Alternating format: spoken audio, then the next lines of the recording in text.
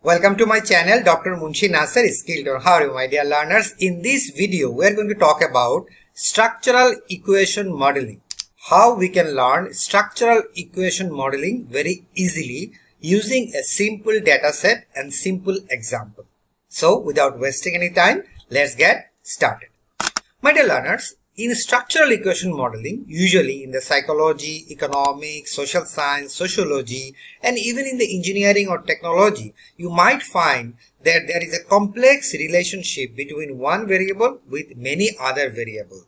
For example, if you measure intelligence, there are several ways we can measure intelligence.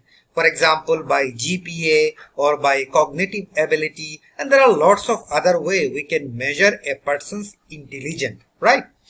Likewise, there are many other social variables that cannot be measured directly. You have to measure using certain other variables which can influence or indirectly related to that particular variable. Those variables usually we call it latent variable. Latent variables such as the variable that is correlated with many other factors and in that particular case a complex relationship build up. And in order to measure that complex relationship we use structural equation modeling. Okay? So we understand what is structural equation modeling in a very nutshell. So let's get to the application side. Okay?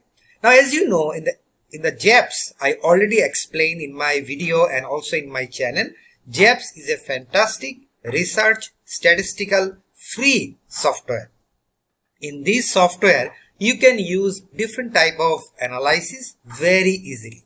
One of the analysis is the structural equation modeling and in my opinion this is the best way you can learn structural equation modeling and you can apply different type of data to analyze in JAPS.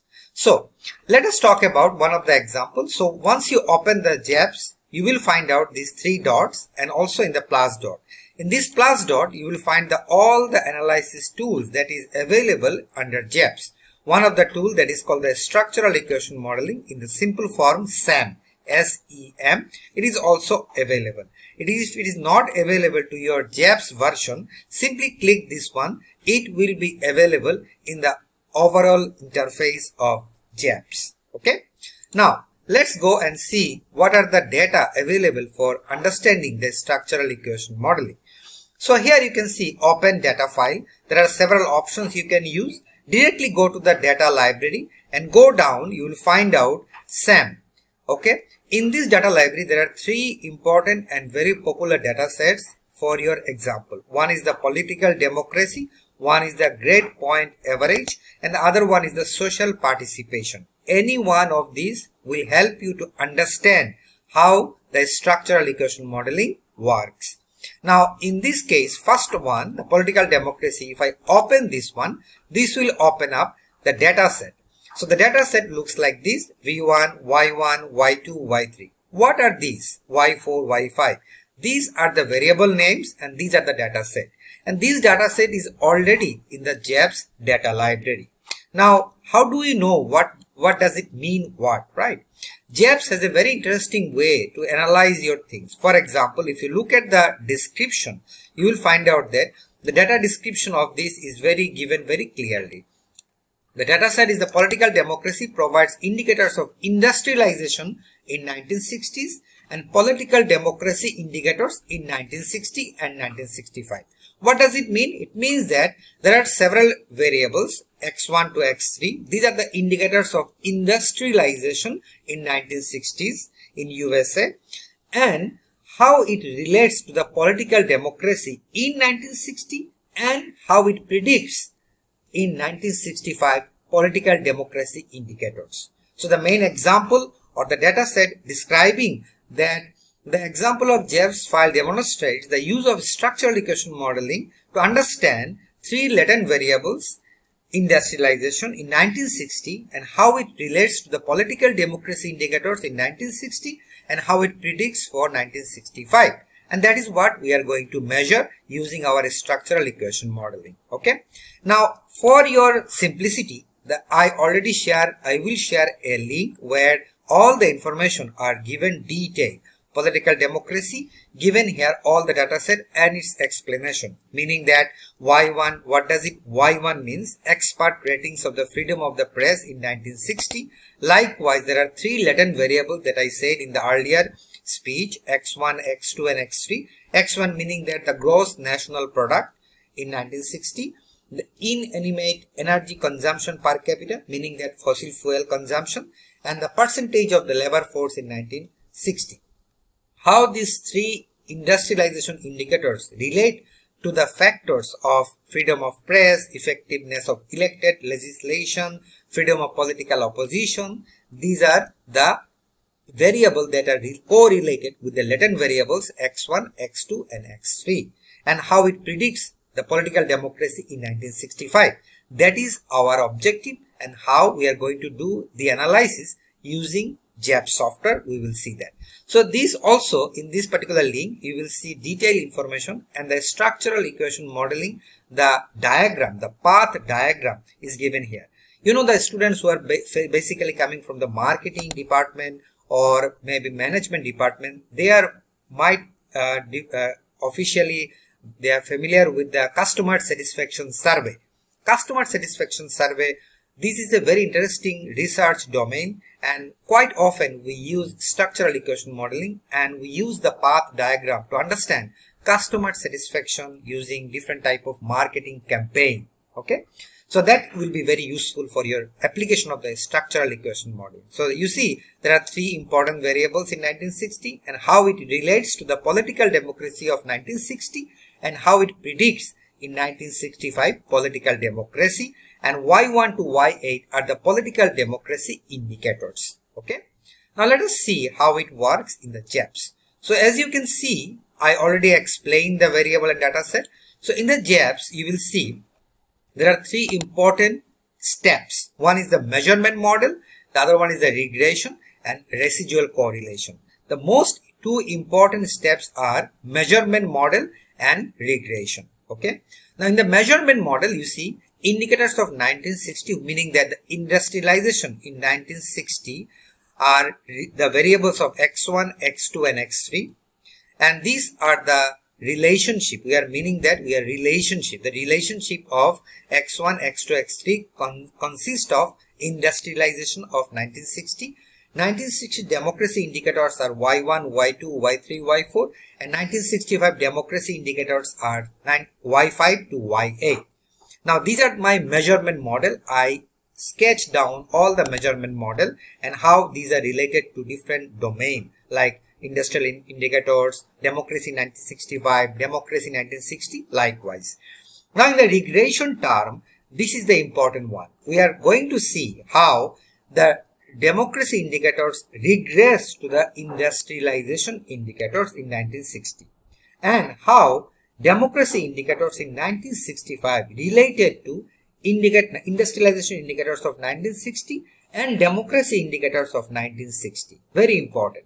So once you dag once you design the measurement model this is the most and the fundamental step the regression you have to design it. And this is the regression sign in the R programming and same goes to JAPS if you want to create your own model you can always take the help from the chat GPT which I will help you later on okay?